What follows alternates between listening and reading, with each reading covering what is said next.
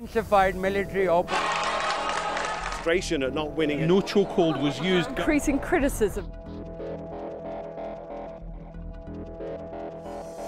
Intensified military operations in the federally administered tribal regions has displaced over a million people. Some of them have arrived in camps at Jalozai and other places.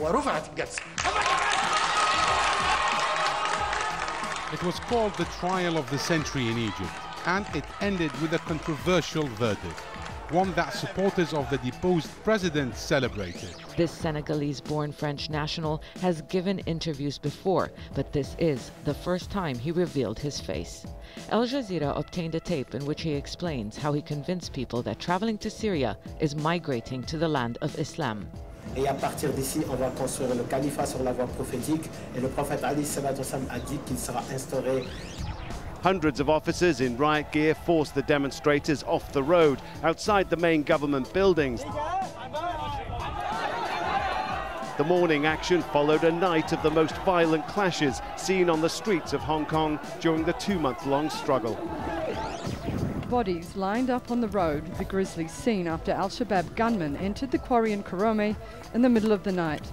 The quarry workers were sleeping in their tents when around 20 armed men ordered them out and to recite Islamic prayers. They were shot dead, but witnesses say some were also beheaded. L'Assemblée nationale a adopté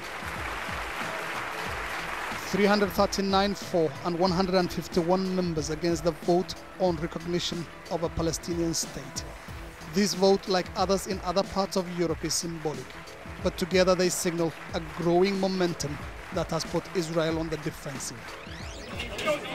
These are Eric Garner's final minutes. Suspected of selling single cigarettes on the street, a crime in New York, police officers wrestled him to the ground. The police report claimed no chokehold was used. Garner was never in distress. The video says that's not true.